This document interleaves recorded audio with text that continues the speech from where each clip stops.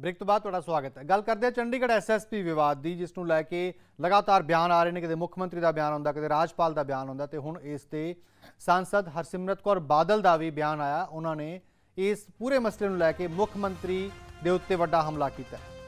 ਉਹਨਾਂ ਨੇ ਕਿਹਾ ਕਿ ਹਰ ਵਾਰ ਫੋਕੀ ਸਿਆਸਤ ਲਈ ਝੂਠ ਬੋਲਿਆ ਜਾਂਦਾ ਹੈ।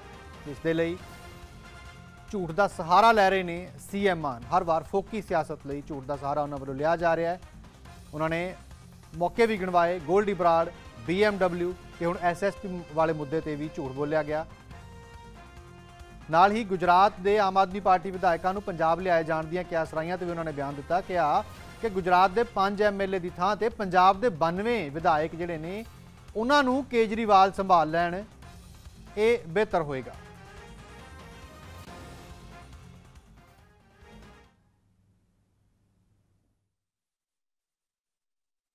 ਪਿਛਲੇ 10 ਮਹੀਨਿਆਂ 'ਚ ਇਸ ਆਮ ਆਦਮੀ ਪਾਰਟੀ ਦੀ ਸਰਕਾਰ ਬਣਨ ਤੋਂ ਬਾਅਦ ਲਗਾਤਾਰ ਪੰਜਾਬ ਦੇ ਚੰਡੀਗੜ੍ਹ ਦੇ ਉੱਤੇ ਹੱਕਾਂ ਨੂੰ ਕਮਜ਼ੋਰ ਇੱਕ ਦੇ ਬਾਅਦ ਇੱਕ ਦੇ ਬਾਅਦ ਇੱਕ ਕੀਤਾ ਜਾ ਰਿਹਾ ਹੈ। ਪੰਜਾਬ ਦੇ ਉੱਤੇ ਵੀ ਤੇ ਚੰਡੀਗੜ੍ਹ ਦੇ ਉੱਤੇ ਵੀ।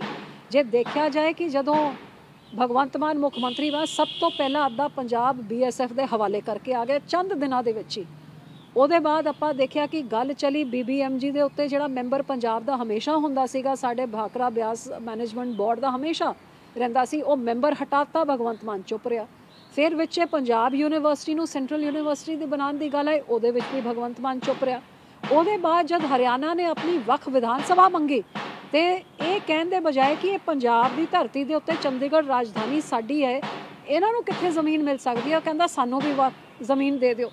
ਸੋ ਹਰ ਪੱਖੋਂ ਜਿੱਥੇ ਪੰਜਾਬ ਦੇ ਹੱਕਾਂ ਦੀ ਰਾਖੀ ਕਰਨ ਦੇ ਬਜਾਏ ਭਗਵੰਤ ਮਾਨ ਪੰਜਾਬ ਦੇ ਹੱਕਾਂ ਨੂੰ ਵੇਚੀ ਜਾ ਰਿਹਾ, ਕਮਜ਼ੋਰ ਕਰੀ ਜਾ ਰਿਹਾ ਕੇਂਦਰ ਦੇ ਤੇ ਦਿੱਲੀ ਦੇ ਹਵਾਲੇ ਕਰੀ ਜਾ ਰਿਹਾ ਹੈ, ਅੱਜ ਸਭ ਤੋਂ ਵੱਡੀ ਹੱਦ ਪਾਰ ਹੋ ਗਈ ਜਦ ਤੁਸੀਂ ਦੇਖੋ ਇੱਕ ਮੁੱਖ ਮੰਤਰੀ ਜਿਹੜਾ ਗੁਜਰਾਤ ਜਾ ਕੇ ਕਹਿੰਦਾ ਹੈ ਕਿ ਜੀ ਅਸੀਂ ਵਿਦੇਸ਼ 'ਚ ਕੋਈ ਵੱਡਾ ਗੈਂਗਸਟਰ ਫੜ ਲਿਆ, ਉਹ ਝੂਠ ਸਾਬਿਤ ਹੋਇਆ।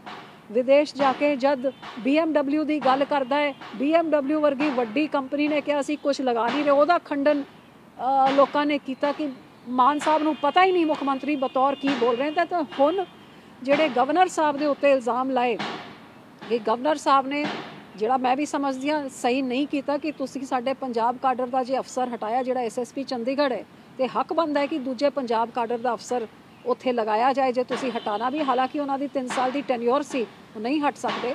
ਲੇਕਿਨ ਜਿਵੇਂ ਗਵਰਨਰ ਸਾਹਿਬ ਕਹਿ ਰਹੇ ਕਿ ਉਹਨਾਂ ਨੇ ਦੱਸ ਕੇ ਹਟਾਇਆ, ਤੇ ਕਿੰਨੀ ਸ਼ਰਮ ਦੀ ਗੱਲ ਕਿ ਭਗਵੰਤ ਮਾਨ ਡਰਾਮੇ ਖੇਡਣ ਵਾਸਤੇ ਇੱਕ ਚਿੱਠੀ ਲਿਖ ਰਿਹਾ ਹੈ। ਗਵਰਨਰ ਨੂੰ ਕਿ ਤੁਸੀਂ ਇਹ ਬੜਾ ਮਾੜਾ ਕੀਤਾ, ਲੇਕਿਨ ਆ ਨਹੀਂ ਦੱਸਦਾ ਕਿ ਗਵਰਨਰ ਸਾਹਿਬ ਨੇ ਤਿੰਨ ਬੰਦਿਆਂ ਦਾ ਨਾਂ ਦਾ ਪੈਨਲ ਮੰਗਿਆ ਤੇ ਮ- ਮਾਨ ਸਾਹਿਬ ਨੂੰ ਗੁਜਰਾਤ ਤੋਂ ਸਮਾਂ ਨਹੀਂ ਸੀਗਾ।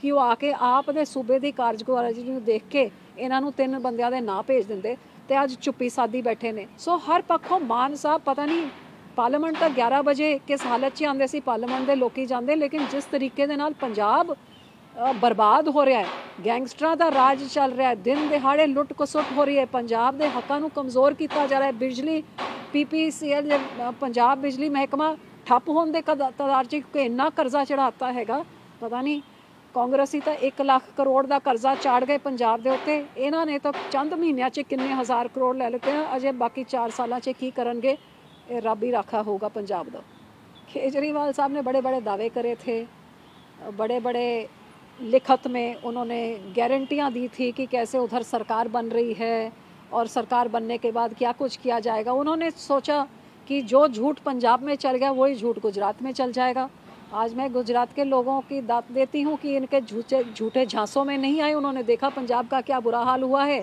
और बहुत आ, स्मार्ट निकले कि केजरीवाल को अपनी औकात दिखा दी जो सरकार बनने जा रहे थे। डेढ़ सौ की पाँच तक समेट के रह गया। अब वो पाँचों को संभालने में केजरीवाल को मुश्किल आ रही है तो उनको वहाँ से उठा के पंजाब लाया गया है। मैं तो उनको यही बेनती करूँगी कि आप अपने पंजाब के आपके बानवे उनको भी संभाल लीजिए क्योंकि जिस तरह लोग अपने चुने हुए लोगों से दुखी हो रहे हैं सरकार से दुखी हो रहे हैं मुझे लगता है आपकी वहाँ पे भी नहीं रहेगी। ये पाँच से तो आपकी ना गुजरात में सरकार बनेगी, ना चलेगी। आप पंजाब में जो बनी है, उसको संभाल लीजिए और पंजाब के मुख्यमंत्री को, मंत्रियों को और विधायकों को बोलिए, पंजाब को संवारने का काम करें, लोगों के बीच जाके उनकी तकलीफ़ें संवारने का काम करें। इश्तेहारों से सरकारें नहीं चलती। तो पाँच दिन के लिए बचा लेंगे पंजाब में रखने के लिए। कितनी देर बचाएँगे?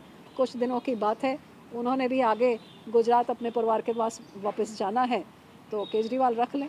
पंजाब के खर्चे पे, जहाँ कांग्रेस ने बड़े बड़े यूपी से लाके गैंगस्टरों को रखा पना दी थी पाँच साल के लिए तो ये अपने विधायकों को रख लें, चंद दिनों के लिए पंजाब के खर्चे पे।